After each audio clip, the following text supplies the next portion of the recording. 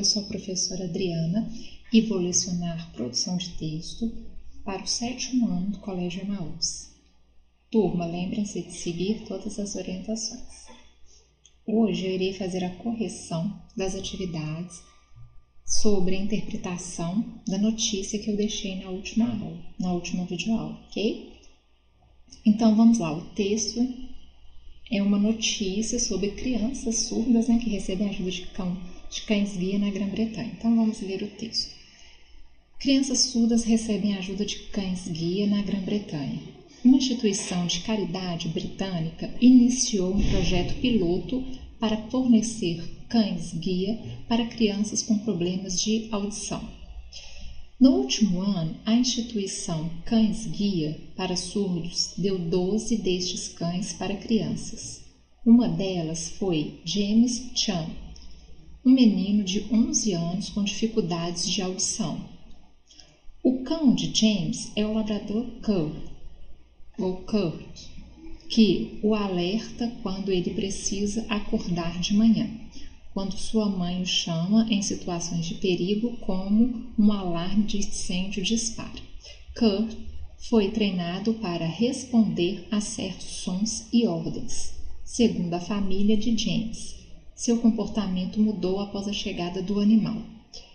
Então, é, o texto é uma notícia e está disponível nesse site www.bcc.com under, barra, tracinho, porque tem, tem um cima de baixo, aquele de baixo, cães de baixo, guias, é, traços surdos. Acesso em 19 de maio de 2014. Então, o texto, ele é uma notícia, o gênero dele é uma notícia, nós sabemos disso por quê? Olha, primeiro, ele coloca a manchete negrito grande para chamar atenção. Tá vendo? crianças surdas recebem cães ajuda de cães guia na Grã-Bretanha. Então aqui eu tenho a manchete. Logo abaixo, lembra que eu comentei com vocês quando eu expliquei? Ah, aqui continua o texto. Ó. Ele está mais independente e confiante, desenvolveu um ótimo relacionamento com o cão. Me perdoem, eu li só até aqui, tá? É porque aqui tem um trecho também. Ele está mais independente e confiante, desenvolveu um ótimo relacionamento com o cão.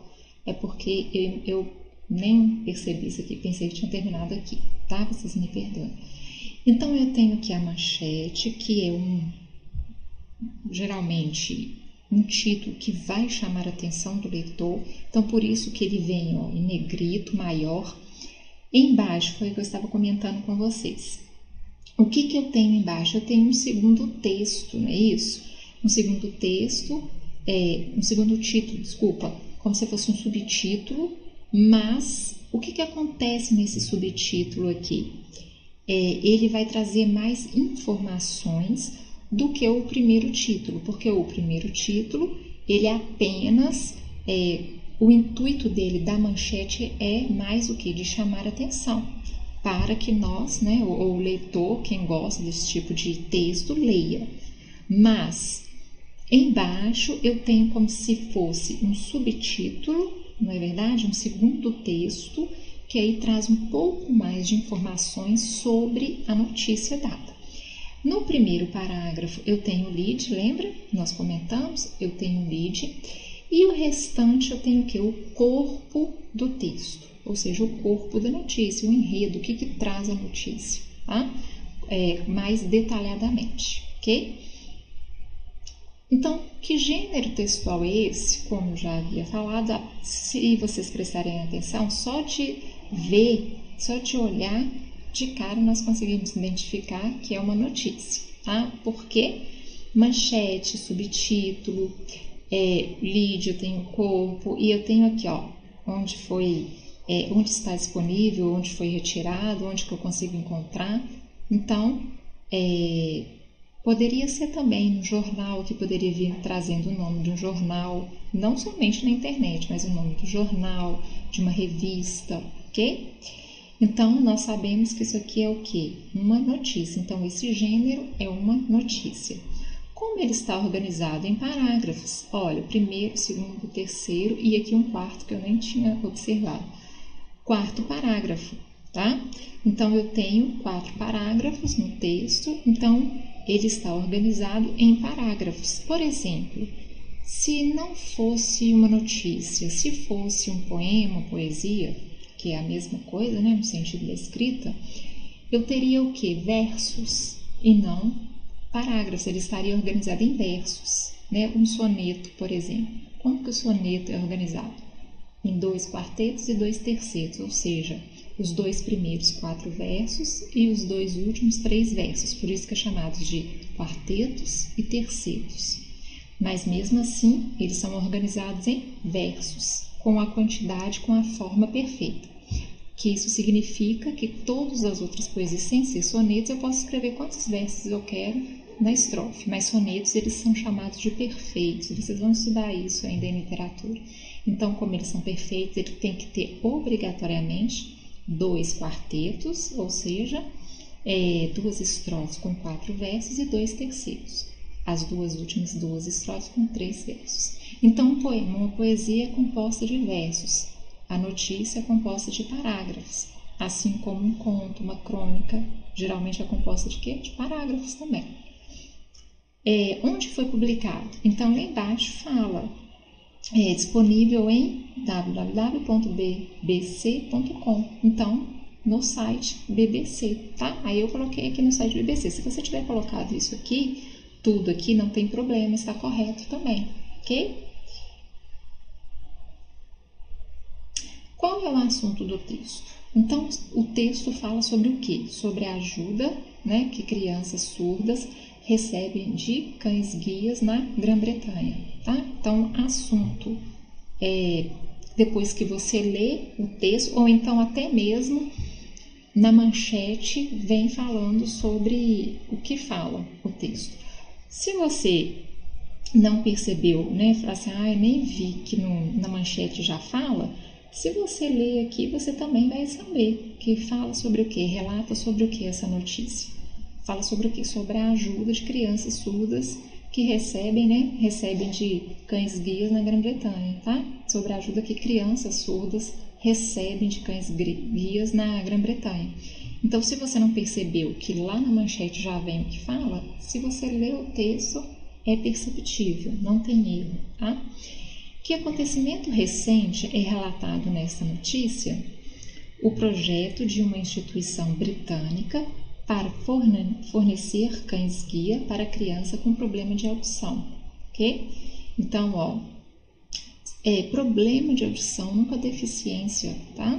Não use esse termo, não, para audição. Surdos e mudos não use esse termo de deficiências, é, é um problema de audição. Isso em Libra já tem um tempo, mas eu lembro que nós não podemos falar deficiência, tá? Quando é, eu vou até verificar isso novamente e trago na próxima aula, mas eu, pelo que eu lembro, embora já tenha muitos anos, nós não podemos falar que surdos é, é, entra no termo de deficiência, ok? Então, é o problema de audição, bom?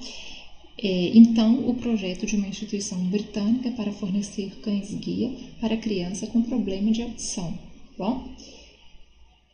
Por que essa notícia é de interesse público? Porque pessoas com problemas de audição conheçam o projeto. Então, pessoas que têm esse problema de audição, elas possam conhecer o projeto. Por exemplo, se por acaso, é, porque quando essa notícia, por exemplo, saiu, saiu lá na Grã-Bretanha primeiro, para depois chegar até aqui. Então, quando eles publicam essa notícia, as pessoas que têm que moram lá, porque esse projeto foi né, feito lá, não aqui, é, elas possam ter esse acesso, né, possam conseguir, no caso, aí, um cão-guia, né, porque, igual ele fala, receber ajuda de cães-guia na Grã-Bretanha. Então, sai, por exemplo, ah, tem muitas pessoas que, que têm filho, que têm conhecido, é, né, um parente que tem uma criança surda, e não sabe que isso acontece. Então, quando é divulgada a notícia, a notícia serve para quê? Para que as pessoas com problemas ou que conheça alguém que tenha, né, conheça o projeto. Quando é divulgada em outros países, dá o que? Uma, uma ideia para que os países, os outros países possam é, copiar esse projeto e também adquirir, fazer com que isso aconteça. tá? Então, por isso que é divulgado também é, para outros países. A notícia ela não circula apenas naquele país. Reparem que nós recebemos muitas notícias de outros países. Então, por quê? Algumas vezes é necessário, igual quando começou essa pandemia lá na China, não falava-se muito, né? A China morreu tantas pessoas, uma doença desconhecida, ataca o pulmão, a pessoa tem pneumonia e tal. E aí, por que que eles divulgavam? Porque começou a ficar sério, não sabia de onde vinha, se era um vírus, se era uma bactéria, o que que era. E disso aí se tornou o que? Um caos no mundo porque saiu de lá e, e espalhou, né, infelizmente, para praticamente todo mundo. Poucos países que ainda não, não teve, não tiveram é, o coronavírus. Mas tem alguns que não, não tem caso, são poucos, mas tem. Nem sei informar vocês quais são, mas eu sei que tem. Que eu li uma vez que tem uns seis países aí que que não, não tem casos de coronavírus. Então, o que, que acontece? Quando começou a noticiar isso, eles noticiaram para todo o mundo, né? Porque era algo preocupante que poderia e que acabou chegando para outros países. A mesma coisa, é, eleição nos Estados Unidos. Está tendo eleição. Eles falam direto sobre isso, noticiam isso para todos os países, né? Eles não só lá né? mas para outros países também. Quando tem eleição no Brasil, é a mesma coisa, é noticiado em todos os países. Então, as notícias mais importantes que as pessoas julgam, né? os repórteres aí, a, o, a televisão em si julga é importante quando existe algum atentado em outro país, é divulgado para todos os outros países, tá? Então a notícia, nesse caso aqui, ela é de interesse público? Sim, é de interesse público, porque pode ajudar muitas pessoas tem notícia que, que, mesmo que passe, que seja divulgado para todos os outros países, não são de interesse público, mas mesmo assim é divulgado.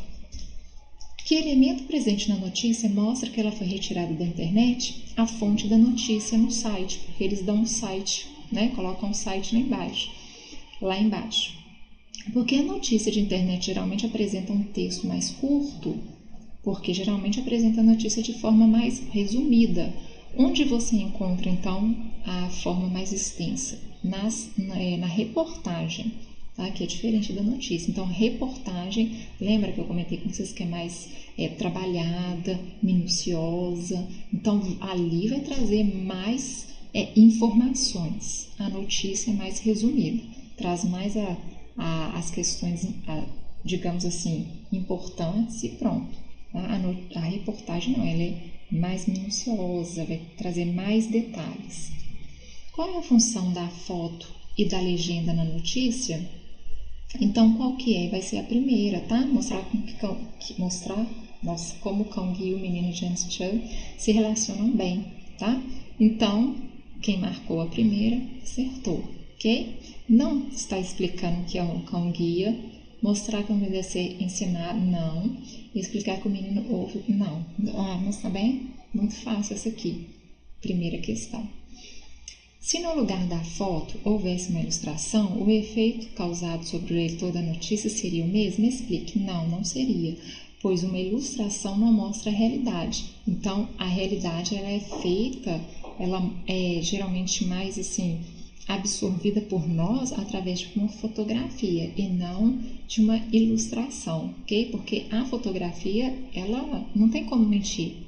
É, existe montagem, claro, mas existe montagens assim, muito mal feitas também.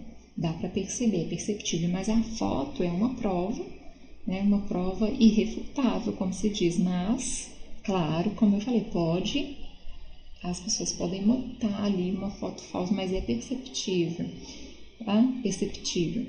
Copia do texto a frase que a palavra piloto aparece. Então, uma instituição de caridade britânica iniciou um projeto piloto. Então, aqui, ó, projeto piloto, para fornecer cães-guias para crianças com problemas de audição. Consultando o dicionário, escreva qual o significado da palavra piloto nessa frase. Então, piloto significa, significa o que nessa frase, que serve de modelo e como experiência. Qual o outro significado da palavra? Então, a pessoa a quem são confiadas manobras e a condução de um navio, de um avião, de um veículo blindado, de um automóvel de corrida e por aí vai. Acrescentar, ó, eu li a pergunta. Qual a função da foto e da legenda da notícia lida? Acrescentar uma informação, tá? Porque a foto é do menino com o cão, né? E então acrescentar uma informação. Que é uma instituição de caridade? Eu sei fazer a pergunta novamente. Que a informação da linha fina aparece no título, que é uma instituição de caridade que iniciou um projeto para fornecer cães-guia para crianças. Então, essa linha fina aqui ó, é como se fosse o subtítulo, um segundo título. Foi aquele que eu falei com vocês. Bom? Bom, turma, eu termino a correção por aqui. Espero que vocês tenham acertado tudo e façam uma excelente atividade avaliativa, ok? Não está difícil, só prestar bastante atenção. E lembrem-se, juntos no caminho certo.